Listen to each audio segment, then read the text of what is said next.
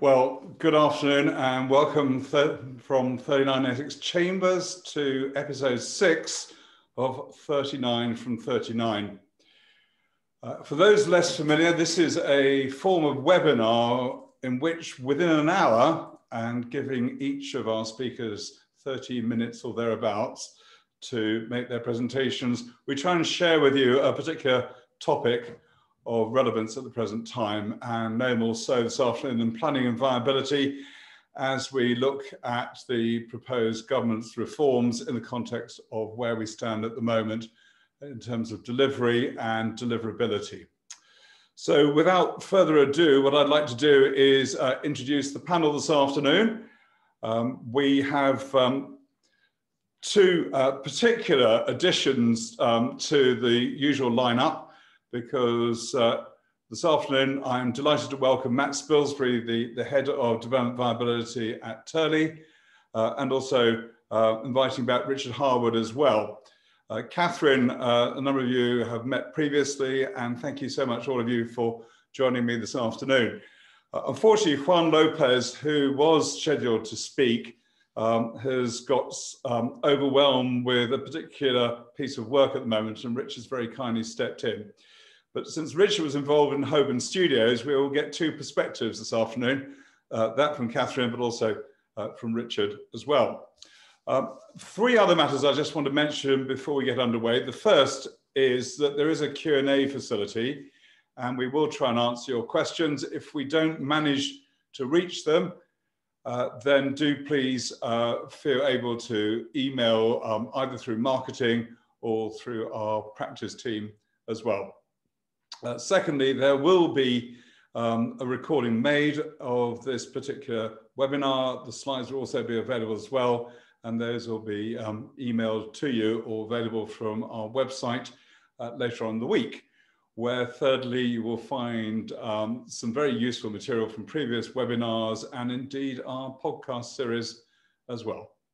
So without further ado, I would like to introduce you to Matt this afternoon who's going to be talking about the outworking of the requirements of uh, national guidance and advice, as well as the current uh, RICS professional guidance and statements.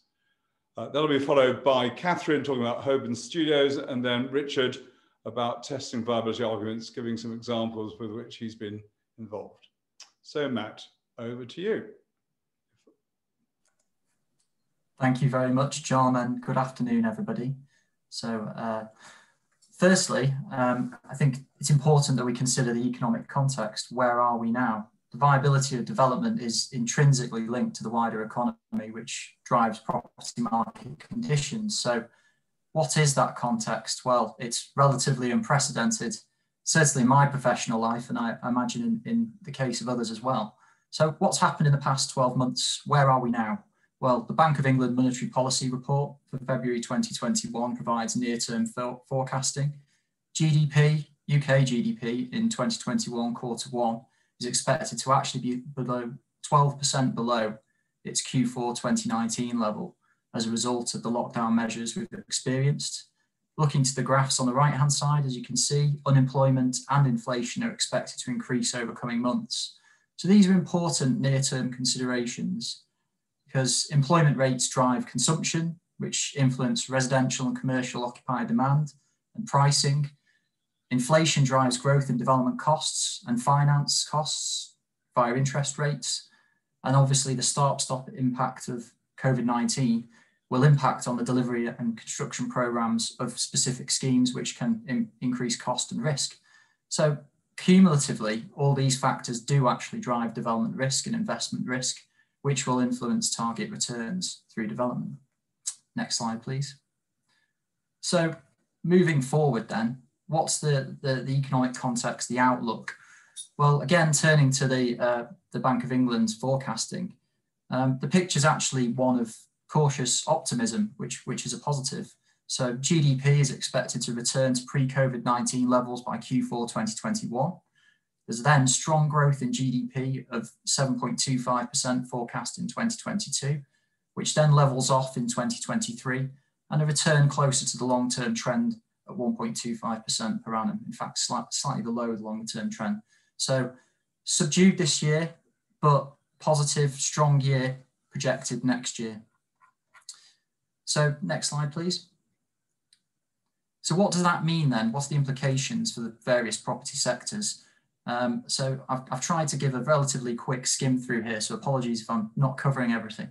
So starting with residential, well, the residential market actually has been the biggest surprise of the past 12 months, completely contrary to, to the wider economic context. It's not only been resilient, but it's actually been strengthening in general, albeit not across all markets. So in particular, central London, city and town centre flattered development, uh, other urban locations have faced decreasing demand and price pressures, rental pressures.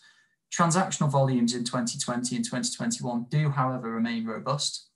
And Halifax has actually reported a 5.2% year on year price increase in February, while nationwide has actually reported a 6.9% rise. So both of those rates well above respective five year averages, which is 4% for Halifax, 2.8% for nationwide.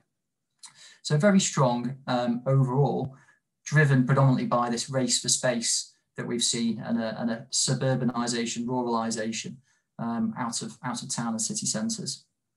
So some forecasters remain quite optimistic for price growth. I've seen, seen various houses forecasting for the next five years quite strongly.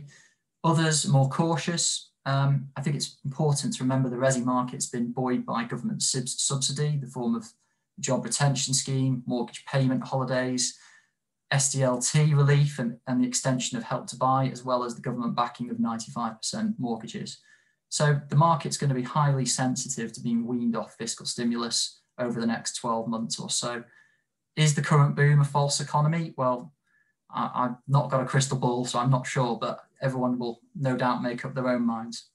Couple of sectoral specific areas. So the build to rent sector, occupancy rates remained relatively stable. Rent collections didn't suffer like in some other sectors.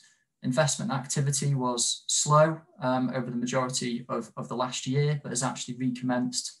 Um, and interestingly, investor appeal um, has increased in respect of co-living development, which is, which is emerging as a sector in its own right. PBSA, um, so purpose-built student accommodation, has faced quite significant occupational challenges, which are well known, um, but is expected to return um, over the course of the next 12 months or so and attract investment and new development um, in prime locations. Turning to offices, um, well, offices have been quite hard hit. Headline rents at the moment have held fairly firm in, prime, in primary centres, but there's been increased incentives that we've seen. So rent-free periods, fit outs, uh, fi financing for tenants. Um, but overall, transactions, so lease transactions down about a third over last year versus the 10 year average. Um, and average capital values reported to have, have, decreased by about 3 to 5% in terms of the, the overall value of those assets. Um, and in terms of investment transactional activity, 50 to 60% down last year on traditional, um, traditional averages. So it's an interesting market. Overall, it's been held in suspended animation. So um, it will be interesting to see what happens regarding occupiers' decisions around space requirements, locational factors. All that is to come and is very much dependent on vaccination rollout. So could be quite a, a, a difficult period um, in respect of the office market. Retail hit very hard, particularly high street retail. There's, there's a real structural shift I think we've seen. We're not really expecting to go back to where we were before. There was already a trend, it's been accelerated. There's a high level of void, insolvencies happening, and I think the, the shift's going to be a move to shorter, more flexible lease term terms and turnover leases as well. Those will impact on capital values negatively, particularly in the short term. From a development focus, I think it's going to be on asset repositioning. So for mixed use diversification in particular, for example, um, the picture you've, you've got there on, on the slide is uh, Hammerson's redevelopment of the Debenhams store at Highcross in Leicester, which is a joint venture uh, with Package Living for 300 built to rent units and is a very good example of this type of repurposing activity. I think it's going to be more challenging in secondary locations. So there's likely to be a reliance on public sector funding to redefine those retail centres. The examples are the high streets funding that we're seeing through the levelling up agenda and then welcome back funding, of which there was quite a small amount, but 56 million announced at the weekend. Logistics, uh, I'm not going to say too much about logistics. It had a stellar performance in response to COVID-19 in, in, over the last 12 months.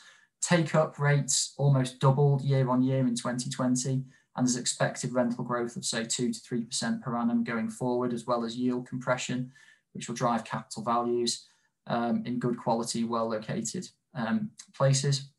So not, there's not likely to be a significant viability challenge in respect of, of logistics development.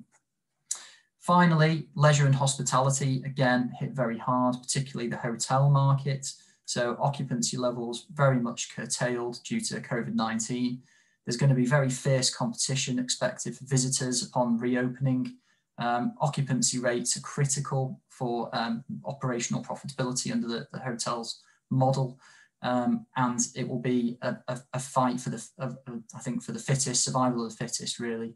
Um, consensus forecasting that I've seen is that assuming vaccination rollout successful over 2021, domestic and international occupancy rates in the hotel sector is expected to recover by about 2024.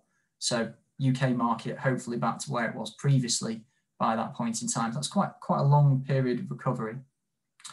Um, pubs, bars, restaurants, and other leisure venues face the strongest headwinds, in my opinion. Um, but there are prospects for revival if we see a good result as a result of vaccination and a, a, a removal of the restrictions that are in place at the moment. But again, it's going to be tough, I think, over the summer. And we're likely to see, I think, um, particularly in, in secondary locations and where there might be an oversupply of these uses, repurposing again of sites, um, for example, a shift towards residential conversion. Next slide, please. So that was a very quick canter through where things where things are at the moment, just my own opinion and, and taking some forecasted and, and, and evidence. Um, so I think it's fair to say that we're in a, a, very significant period of market instability, volatility. There are still very evident risks across multiple sectors. And I think that's quite important consideration in, in viability and important in plan making and also site specific decisions around uh, applications where viability is, is likely to be an issue. I think it's probably going to be of increasing importance going forwards. Therefore, it's very necessary there's a robust evidence base in place. And we'll come on to that shortly. I think worth just stepping back and reflecting on what viability in the planning system is, is there for. So PPG states it's to secure maximum benefits in the public interest through the granting of planning permission. But that must be a balancing act. So plans must be deliverable, policies must be realistic and achievable, and there must be flexibility built into the system to allow for the kind of shocks that we may see through the economic volatility, through um, outside factors, unforeseen circumstances, and, and, really that's what viability is there for. It's a, it's a release valve to avoid site stalling. Next slide, please. So what's there to guide us? What standards are in place? What guidance, legislation? Well, it's important to reflect that there is a robust and significant framework in place. And I've, I've put a little diagram there, which is prepared by the RICS on the right-hand side of the, the slide you can see. Obviously, the framework starts with the legislation, but there is then national planning policy framework. In practice, that's borne out through the planning practice guidance on viability, which is, is a sort of a handbook for practitioners. But the RICS has also stepped up and they've produced um, very recently a set of mandatory professional standards which chartered members must adhere to. That's consistent with the NPPF and PPG, and that's in the RICS professional statement. It's called Financial Viability and Planning, Conduct and Reporting, first edition. It was actually, I say it was recently, time has flown. That was actually May 2019. Um, and that sets out 14 specific requirements that RICS practitioners undertaking and producing viability assessments for planning purposes must follow. I would say it's essential reading for any stakeholders in the sector and represents the barometer against which all assessments must be measured um, through the, the process, the local plan process, but also in, in decision taking and appeals and such forth. We're also expecting an updated um, full financial viability and planning guidance document, which was consulted upon last year. I think given the current context, it's gone relatively quiet on that. I think it's being reviewed at present following the responses to that consultation. Next slide, please.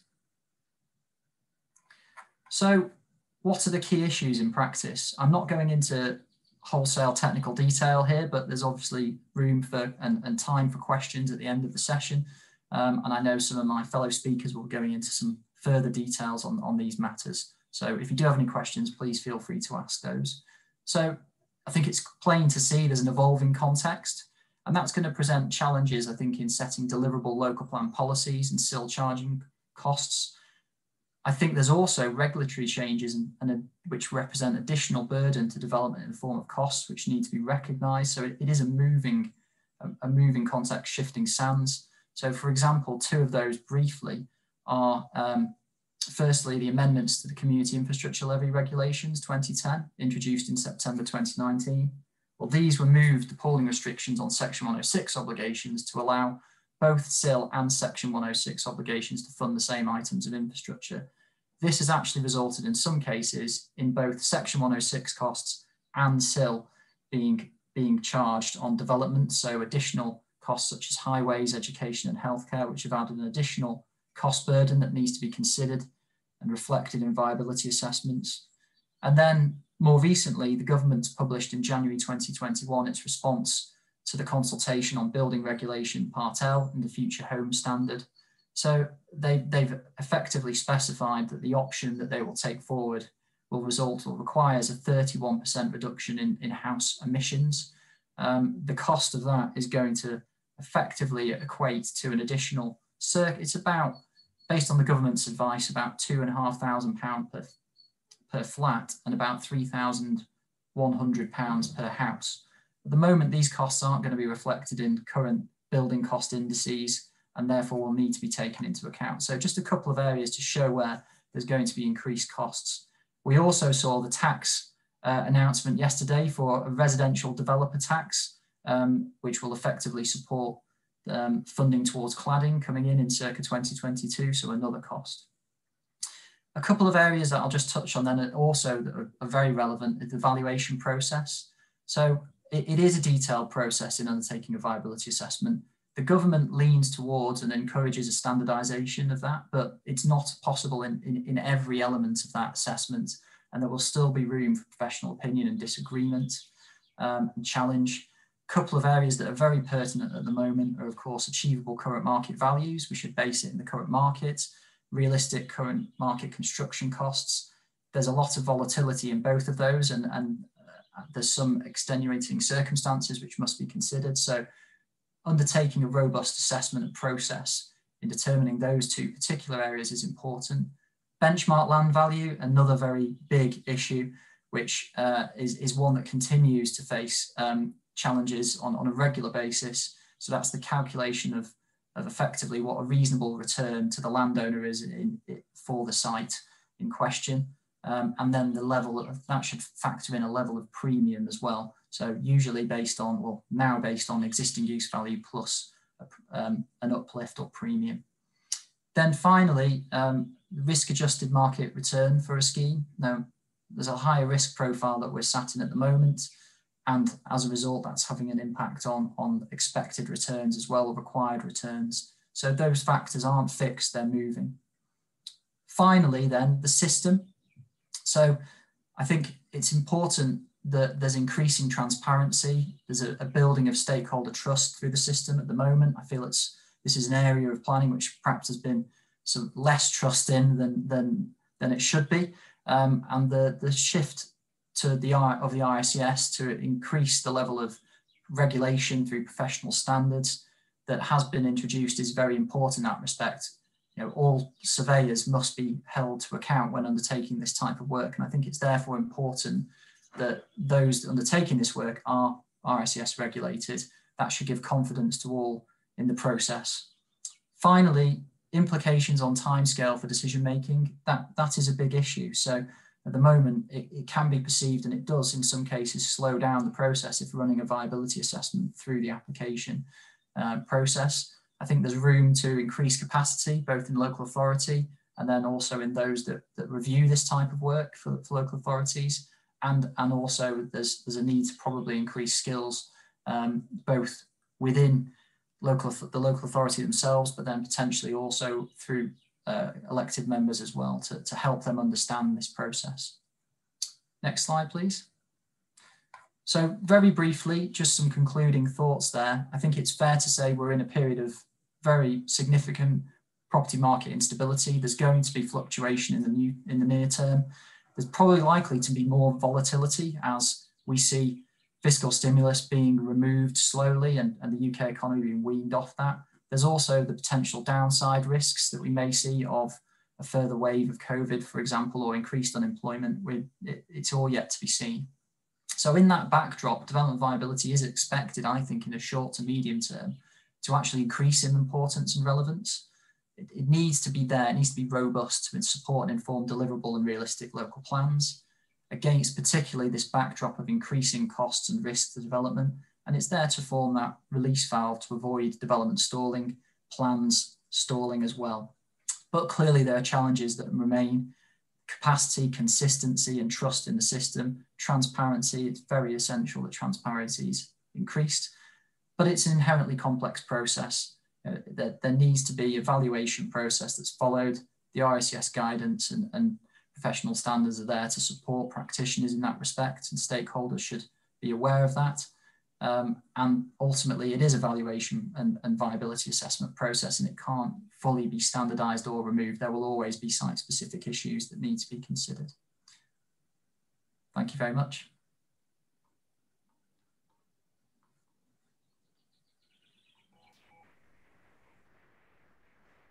Good afternoon, everyone. I'm going to pick up there by talking about the Holborn Studios case. Um, now, of course, we have got Richard Harwood here now too, who, who is the true Holborn Studios expert, having acted for the successful claimant in that matter. So what we thought we'd do is that I'll set out in basic terms the background to the case, what was decided, and some um, some lessons learned, if you like. And then Richard will pick that up and add some of his insights, um, obviously being particularly knowledgeable about the case. Uh, and then, of course, um, I suspect people will have lots of questions on this matter, so we'll both be around to answer them for you. Um, so just to um, set the scene, as it were, the claimant in this judicial review was Holborn Studios, and they are the leaseholder and operator of one of the largest photographic studios in the world um, in Hackney. And you can see I've put a photograph there of um, their premises from, from one angle, from the canal side. Um, and essentially, the interested party, who I assume was their freeholder, has or had and has, I presume, aspirations to redevelop the site um, for residential and commercial redevelopment.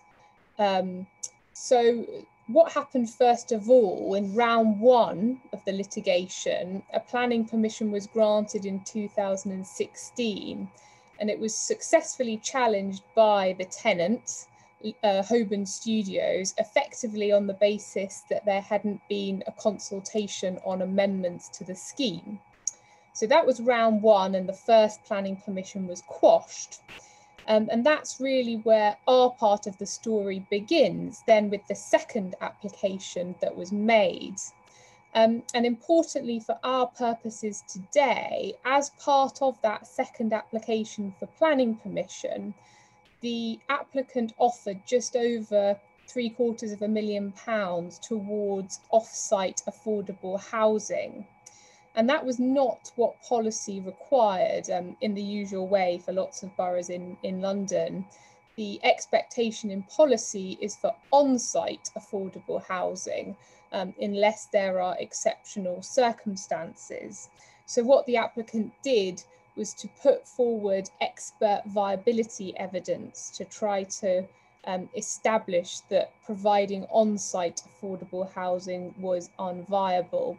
And so it was justified in paying this sum of money as a contribution towards um, off-site affordable housing. Um, next slide, please. So there were two iterations of the viability assessment. The first assessment was published for members of the public to see, but um, the numbers were redacted. And the second version, the uh, assessment as a whole wasn't published, but a summary of that assessment was. So the claimants, Holborn Studios, asked the council to publish the most recent assessment in full so that they could consider it understand the basis on which this um, policy in compliant affordable housing offer was being made and then make representations on it if it was appropriate in light of the evidence base. Um, but to no avail, the full assessment was never um, published, and indeed the council went on to grant the planning permission, um, and that was in 2019. Uh, and amongst other from, amongst other grounds, amongst other reasons, it was challenged by the claimant on the basis um, of the limited and incoherent um, viability uh, evidence, uh, and indeed the failure to to publish it um, in full. And that claim succeeded. So that's that's the background. I want to now look at the legal framework. So if I could have my next slide, please. The key, uh, the key um, statutory provision that we need to look at is section 100D of the Local Government Act, which is concerned with the inspection of background papers.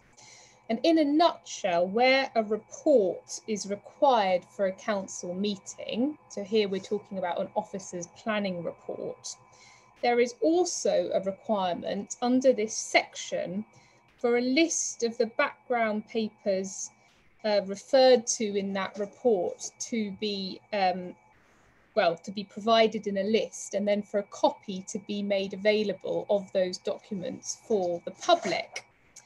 Um, and you can see there towards the bottom of the slide sorry the formatting's um, gone a bit strange but effectively the definition of background papers are those documents relating to the subject matter of the report which disclose any facts or matters um, um, which on which in the opinion of the officer the report um, or an important part of the report is based and have in his opinion been relied on to a material extent in providing the report.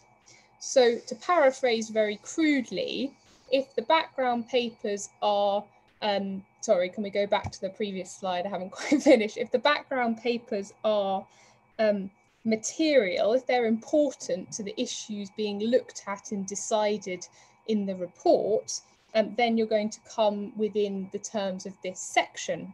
But there is an important exception, and that's subsection four there, this requirement to um, have these background papers available for inspection doesn't count if the documents would disclose quote unquote exempt information.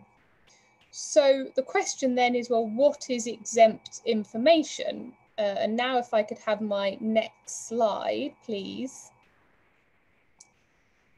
Um, there are various um, types of information that fit this description, but the one we're interested in is information relating to the financial and business affairs of a person.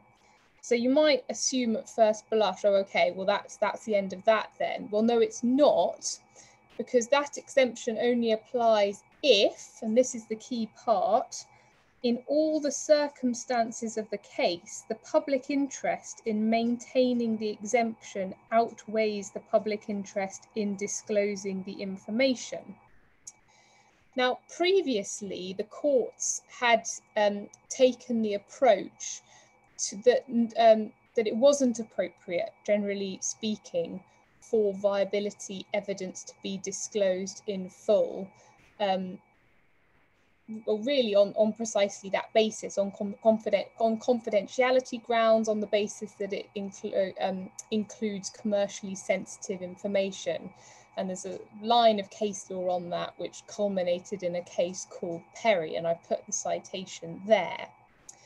Um, but what the claimant was arguing in this case is that there'd effectively been a material change of circumstances since then, and that public interest in that part of the statute I've just read out to you needs to be approached differently in light of that change. And specifically, what had happened is that the government had changed the policy framework around viability quite significantly. And in particular, paragraph 57 of the NPPF had been introduced, which no doubt you'll be familiar with it, but it says that viability assessments should be publicly available. And there's also then some more detailed guidance along the same lines in the PPG. Um, next slide, please. So um, that was the position, those were the arguments being made. What did the court decide? Um, well, the court thought that one of the key issues before the decision maker, before the local authority, was whether viability concerns justified the non policy compliant um, affordable housing offer so in other words, whether it was okay for the developer simply to, to make the offsite contribution. And given that that was the key issue, the judge conclu concluded that at least some of the undisclosed viability evidence contained important facts or matters on, what, on which the report recommending the grant of planning permission was based and so therefore we were brought within this category of section 100D. Um, and on the face of it, these background papers, or at least some of them, a list of them had to be provided and they had to be made available. So the question was then, but does the exempt information exception apply? And the court concluded, in light of the changes to the policy framework that I just mentioned, that this exemption did not apply. And I've set out a really key um, quote from the judgment there, and I'll just read out the underlined bit. The interests which placing viability assessments into the public domain serve are clearly public interests, which in my view support the contention that such assessments are not exempt information unless the exceptional um, circumstances spoken to the PPG arise uh, and a solely executive summary should be put in the public domain. So um, there was a breach of the terms of section 100D. The court then had to consider, could I have my next slide please, whether that breach was material. So for the non-lawyers, really that means did this breach of the statute actually matter? So the council was arguing that even if technically there'd been a breach, it didn't really matter to the substance because there was enough viability evidence that had been disclosed by way of the initial uh, redacted report and then the summary, which meant that um, the claimant, Holborn Studios, had enough information to be able to make meaningful representations on viability and on this affordable housing issue. Um, the court rejected that argument pretty categorically uh, really in a nutshell because the um, viability evidence that, that was um, disclosed to the public was of such poor quality. And in particular, the court referred to inconsistencies in the material that had been disclosed and which couldn't be explained from the material that the public had. Um, so just to give some of the main examples, there were different figures given within the documentation as to what the benchmark land value was. There was no explanation of how the benchmark land value had been calculated. And that's very much contrary to the approach um, that the PPG requires. It wasn't broken down into what part one was the existing use value and then part two, the landowner's premium. Um, and indeed, the material available seemed to indicate that actually the wrong calculation method had been used. um, the old residual land value method rather than the existing use value, which is now what government guidance says has to be um, applied. So um, drawing that all together, the court, you can see, was not very impressed by this evidence and they concluded, well, the judge concluded that the material in the public domain was incon inconsistent and opaque. And so on that basis, there'd been a breach of section 100D. Uh, it was a material breach, it mattered, uh, and the Planning Commission was quashed. So um, turning then um, to my final slide, uh, which is some key takeaways. And as I say, Richard will add to these. Um, but I, I, think the starting point has got to be in light of the latest guidance, so um, the NPPF, the PPG, and now this decision in Holborn Studios. The starting point is that um, at least the primary viability evidence um, will have to be disclosed to the public in an unredacted form. And I would suggest that um, anyone preparing viability evidence or thinking about what needs to be disclosed should start with the expectation that everything will need to be disclosed in full. Um, and actually, it's interesting speaking to Matt about this just briefly before we started. He said that following this decision, that's definitely the approach that he is taking. So, in other words, it, sh it should be a surprise if something is not disclosed. You should assume that it is all going to be disclosed. Now, um, there may, in particular cases, be a justification for non disclosure um, and you need to think very carefully about your particular scenario. Um, and you will need to show, uh, if you want to go down this route, that there is particular information which is genuinely commercially sensitive. And I'd suggest that you need to be really um, intellectually rigorous and honest when you um, undertake that exercise, because the guidance now makes it clear that um, almost everything in most viability assessments is not going to be commercially sensitive because it's not specific to a specific developer. If, if there's a particular patch of land that's going to be developed, um, the viability inputs in developing that are the same if I were to, to develop it, if you were going to develop it, or if the developer down the street were going to develop it there's no need for there to be any commercially sensitive information included in most viability assessments. Um, there may be some cases where there is an exception to that, uh, and the PPG gives some examples. It says um, exceptional circumstances, such as ongoing negotiations about land purchase, and information relating to compensation that may be due to individuals, such as right to light compensation. So you can see there, those particular inputs are specific to a particular developer and, and are commercially sensitive. Uh, and but even where that applies, it's not the case that you just um, don't uh, or block out the entire viability assessment, you need to identify really carefully what the commercially sensitive element is. And then what the PPG says that you do is to produce a summary, an executive summary of that particular information. And the PPG is quite specific as to how you go about doing that. So that effectively the general principle is that you're disclosing as much as you possibly can and that the absolute minimum is um, kept from the public. And that when the public looks at the picture overall, okay, there might be a couple of small elements that haven't been included, but they can understand the broad viability exercise that has been undertaken and what the key inputs are.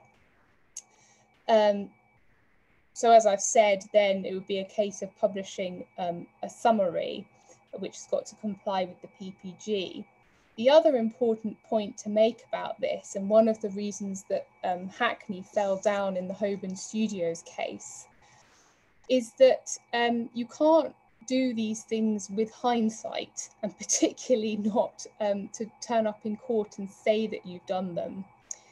if um, these sorts of decisions are going to be made about particular limited information that's not going to be disclosed, there needs to be very clear decision making, um, particularly by the local authority, as to what has been decided and why, with reasons. So, if the information has been deemed commercially sensitive, why?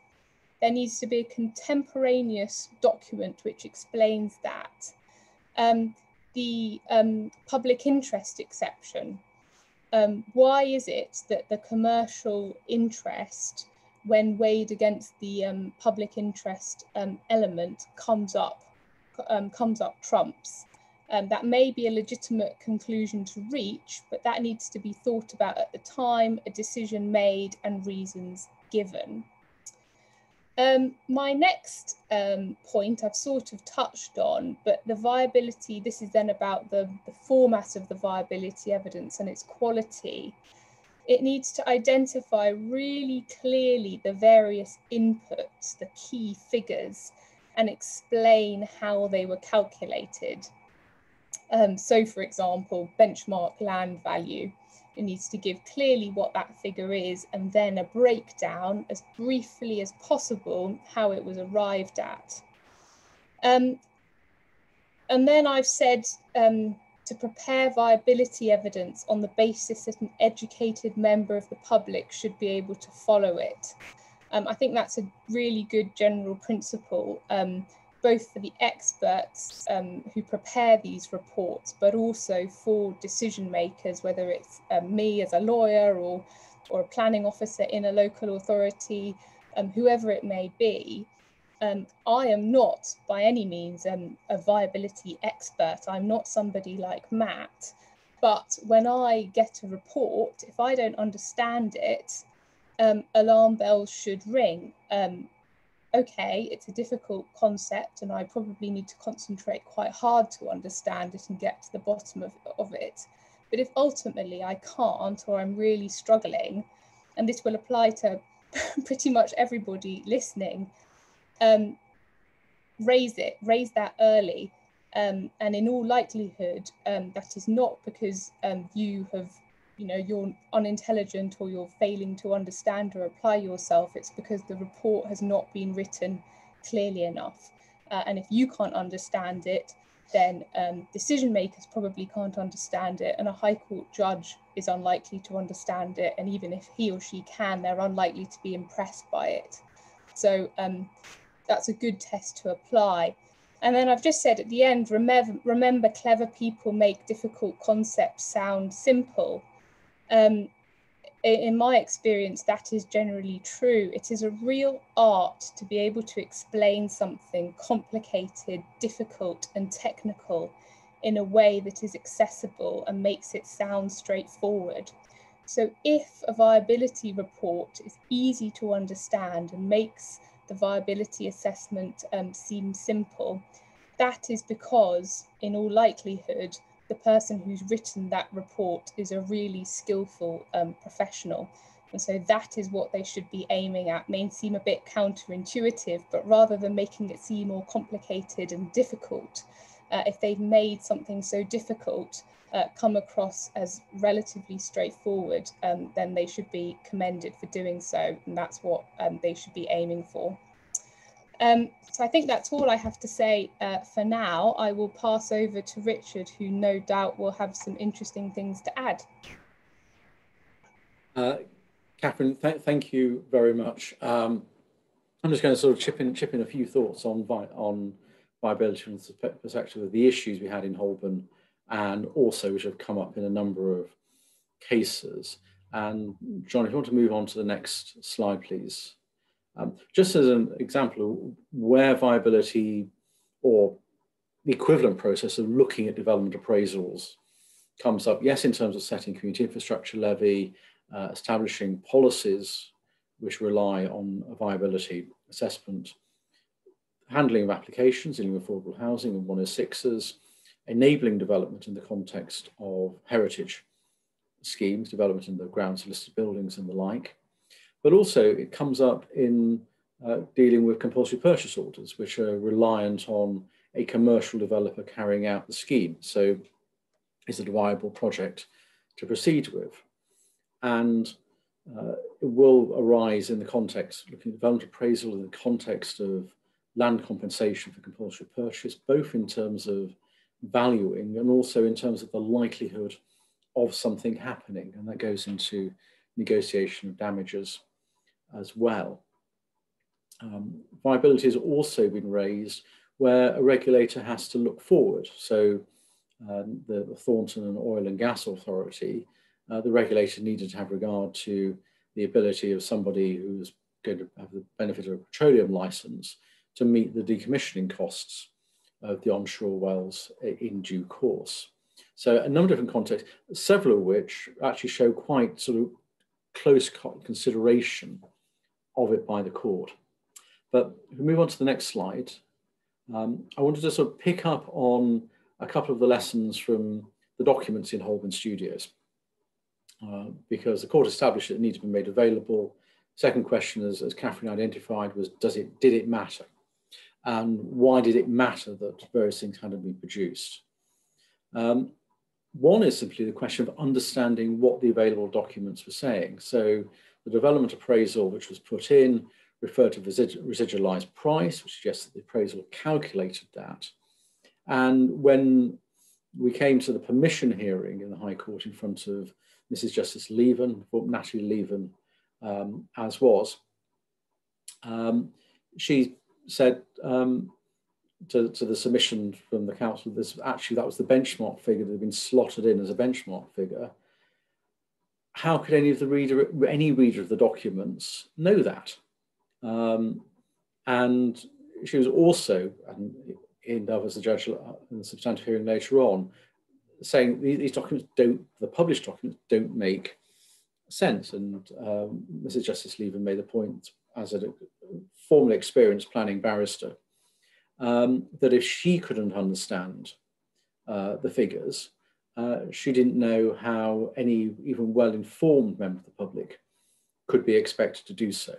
So can you actually understand what it is? Uh, ne next slide, please.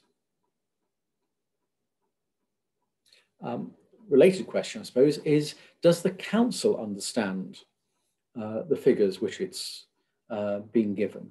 And in Holborn Studios, the affordable housing figure had been, the offer had been changed with no explanation discernible from the papers.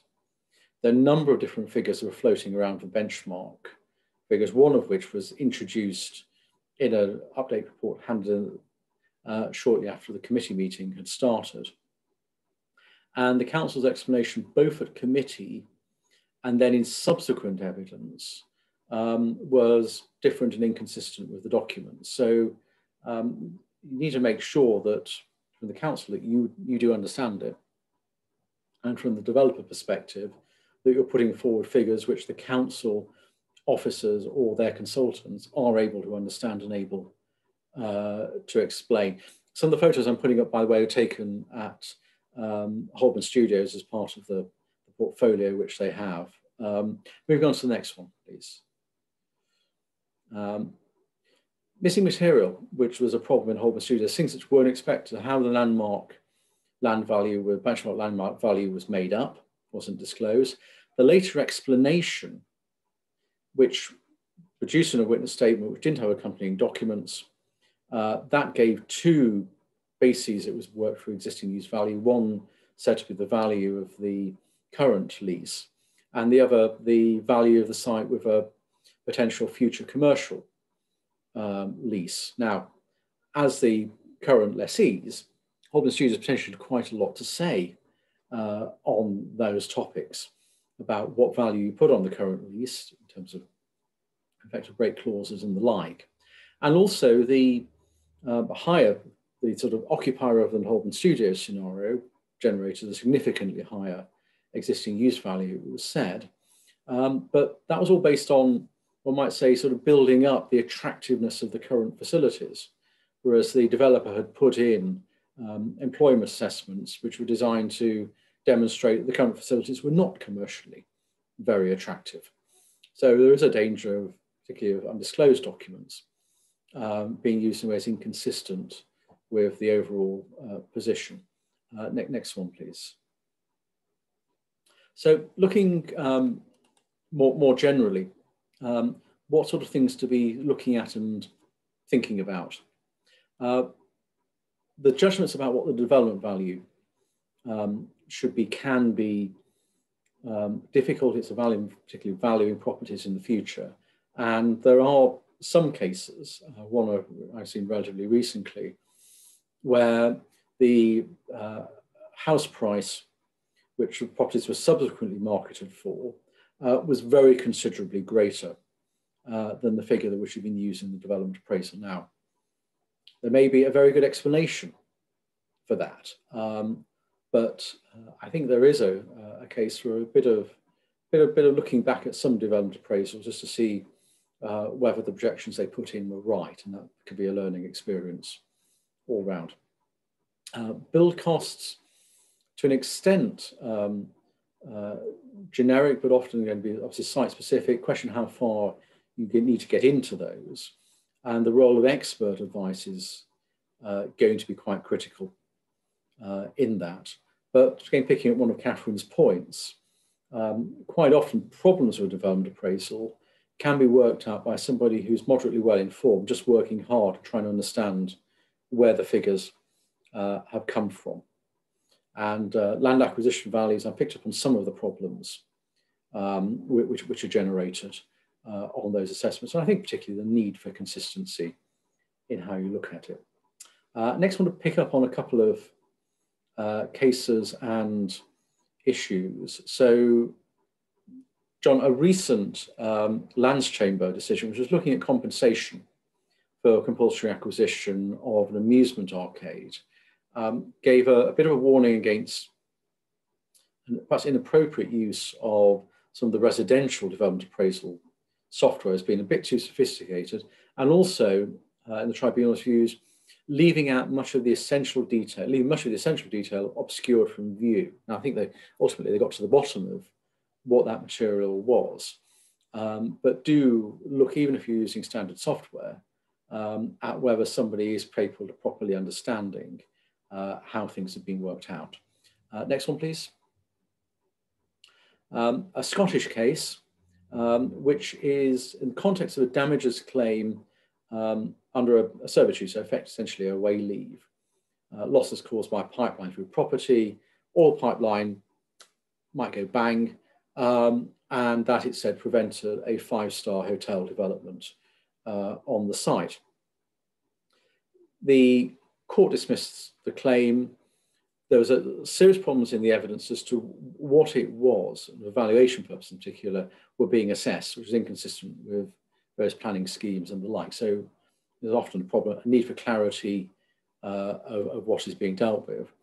And the court ultimately found that what was proposed was unbuildable and going to be unviable. So the damages claim failed. And it's a good illustration of how some of these things are, are picked up. Uh, I think my final slide next, John.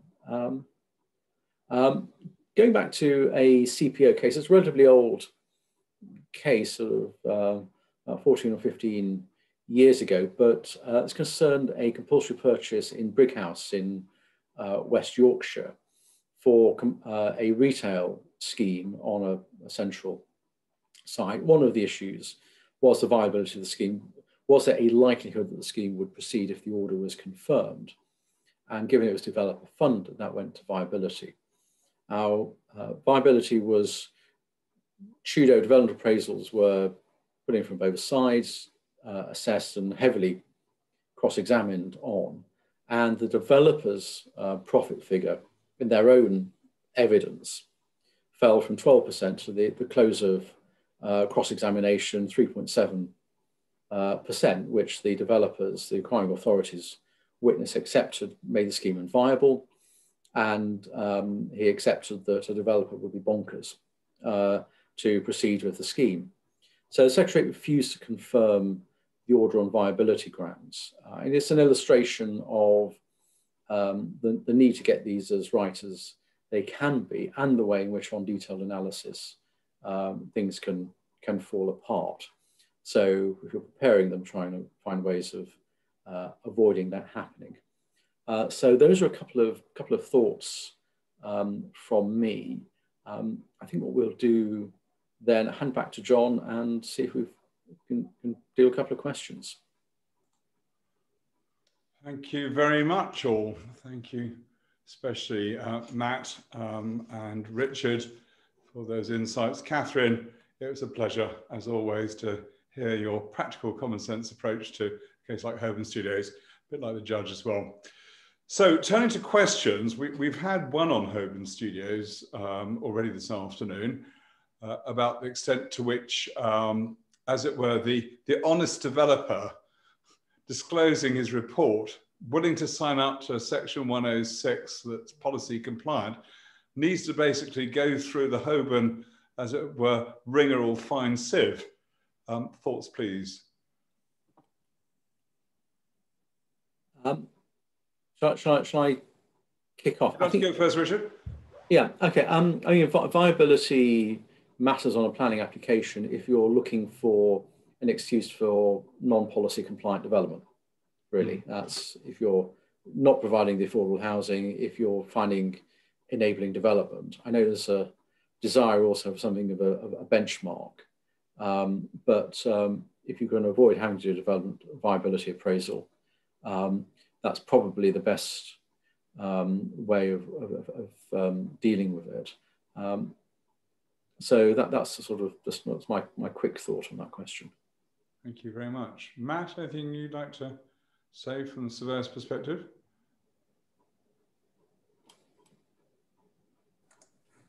I, I don't think so, to be honest, on that one, John. I think we've I think we've we've covered it through the presentation, haven't we, in, in some quite significant detail. Unless Katherine wants to elaborate on on anything from from a legal perspective uh, in that respect.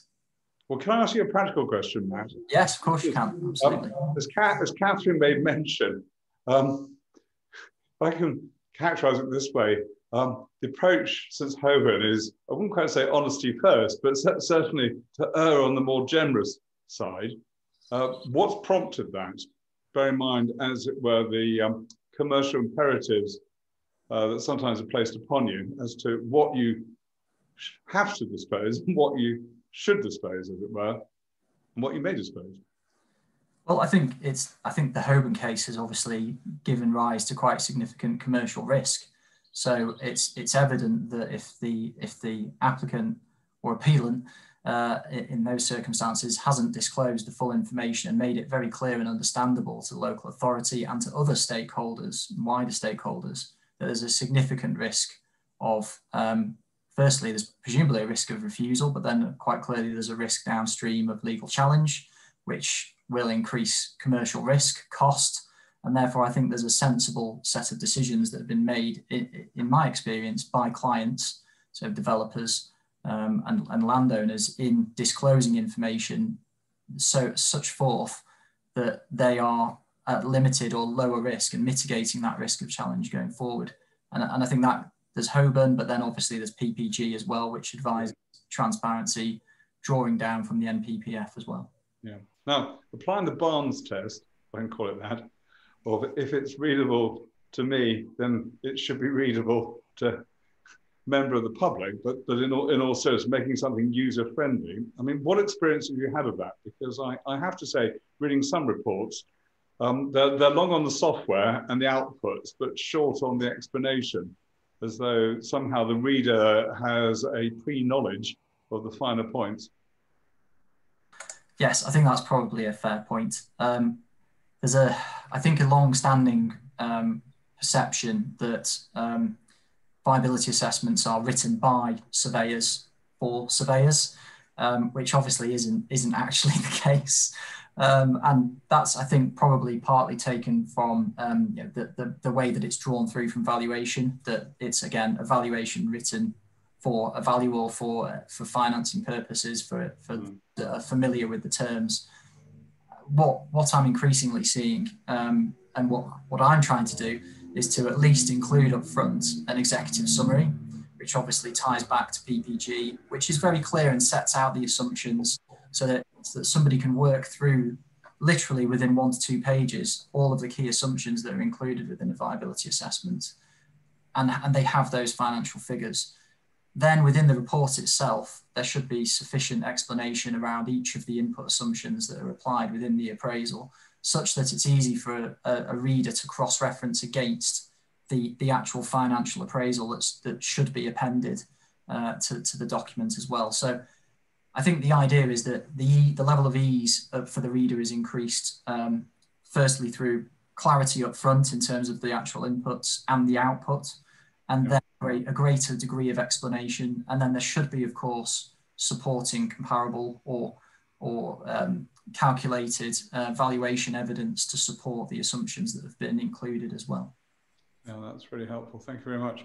Well, we're nearing the end of our time, but I think, Richard, there are a couple of questions that have just come in, um, which you perhaps would like to tackle. I, I try and whip through and see what we Um, first of all, a question really about whether the, um, the suggestion that the viability appraisal might agree a benchmark value, say 5 million, market price actually paid um, might be 10 million, possibility of developer running effectively two sets of sets of books for that reason.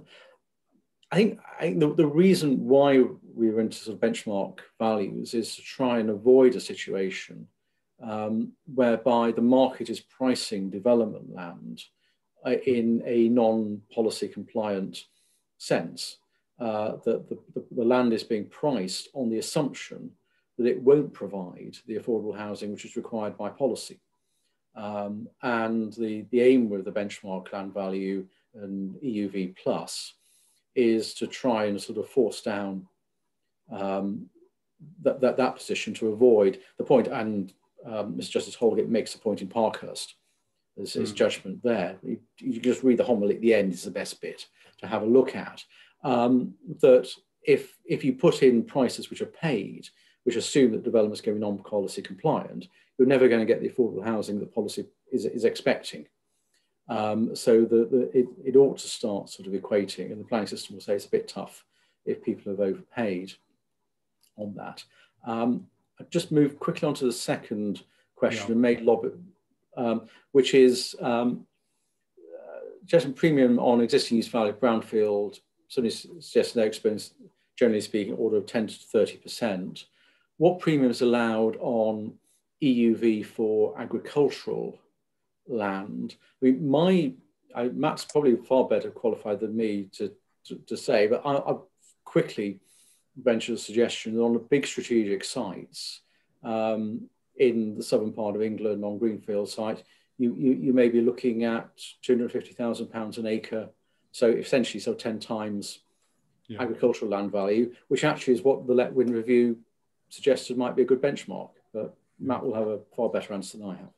Yes, I, th- I, think I think you might have mentioned meant that. Sorry, Richard, two hundred fifty thousand pounds per hectare was that, or hundred? Yeah, sorry per hectare. Yeah, yeah, that would be a lot per acre. Very sorry, bad. Yeah, sorry. Well, um, I think I'd, I'd agree. I'd agree with Richard there. I think we tend to see hundred thousand pounds per acre as being the sort of the minimum level to release greenfield strategic sites, um, which is based on you know, the minimum levels in option agreements the, the, that's fine on larger scale sites that have got you know, significant gross areas of development and the net developable area is say you know, 50, 60% of the gross, but and, and have potentially have large areas of strategic infrastructure requirements and other costs. But actually when you get to smaller sites that perhaps have a, have a, a greater level of developable land and a, and a lower burden then you would expect that, that value to increase. I think one of the issues that we're seeing at the moment is there seems to be this drive towards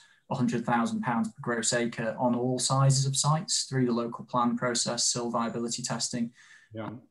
My concern with that is that that's going to cause an issue in respect of the reality of landowners' expectations and, and, and the burdens that are placed on that land.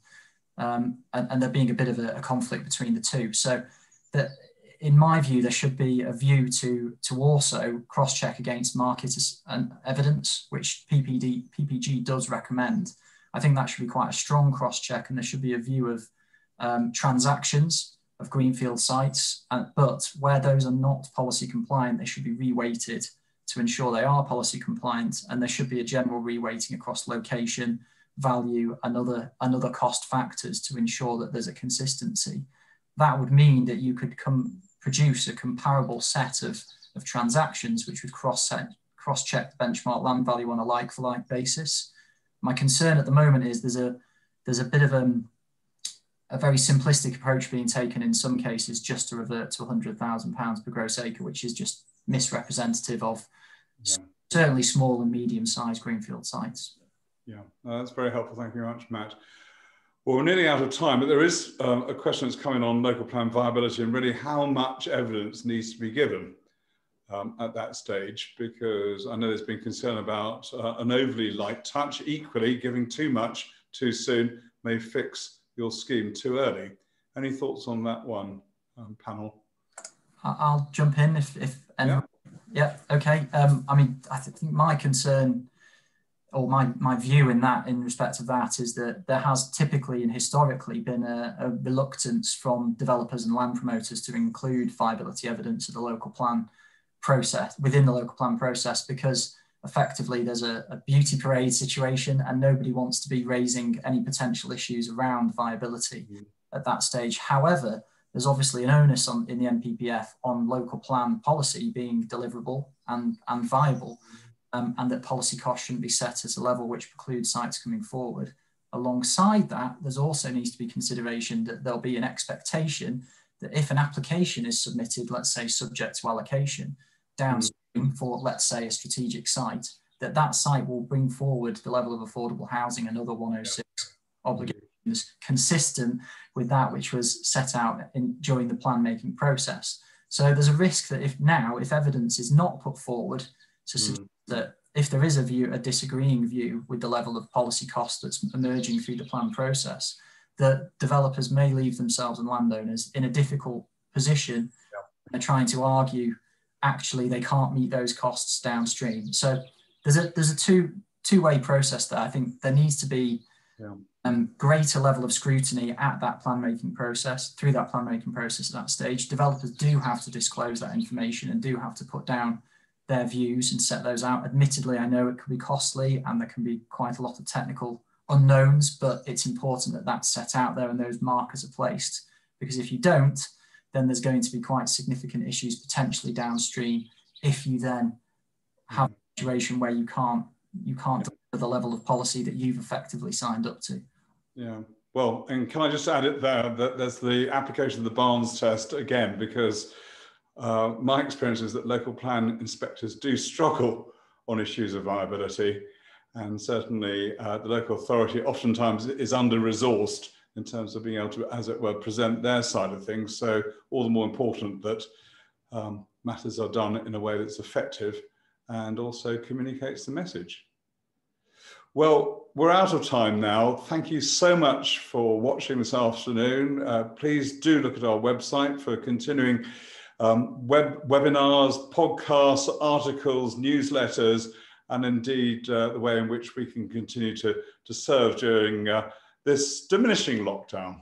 So uh, I leaves me to say good afternoon, thank you for watching, and happy Easter. Thank you. Bye-bye. Thank you. Bye.